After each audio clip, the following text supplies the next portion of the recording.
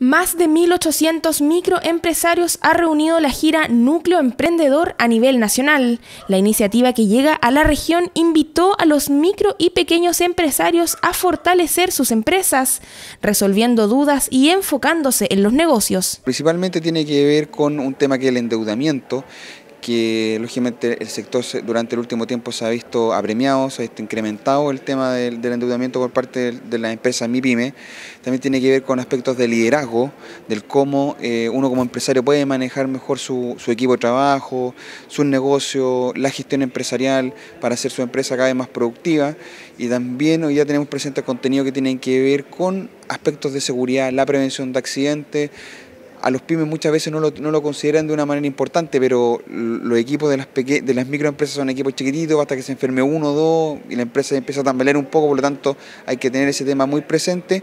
Y también tenemos temáticas relacionadas al cómo hacer este cambio que es muy importante, subir un peldaño, dos peldaños entre ser un emprendedor y ser un empresario. Para nosotros los pequeños empresarios es súper bueno porque estamos aprendiendo algo nuevo. Generalmente un empresario pequeño cuando tiene problemas de endeudamiento, ¿qué hace? Cierra su empresa, ya porque a veces no sabe cómo salir adelante, cómo eh, salir a flote, ¿cierto? Nos ahogamos. En cambio acá estamos viendo la que hay posibilidades nuevas en donde te dan herramientas para que tú puedas organizarte, planificarte y volver o a empezar otra empresa de cero, ya sin tener esas deudas o reorganizarte para no quedar, para seguir con tu empresa, ya salir de DICOM, porque muchas veces uno no sabe, ya nosotros somos ansiosos y no sabemos cómo, cómo eh, lograr el objetivo de, de permanencia.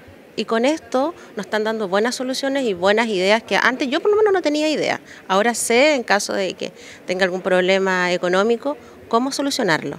Eso es súper bueno para nosotros que somos pequeñitos y que nos cuesta de repente el financiamiento. Durante el transcurso de la actividad, los asistentes pudieron visitar mesas informativas para conocer los programas, capacitaciones e iniciativas de diversas entidades enfocadas al fomento del sector PYME.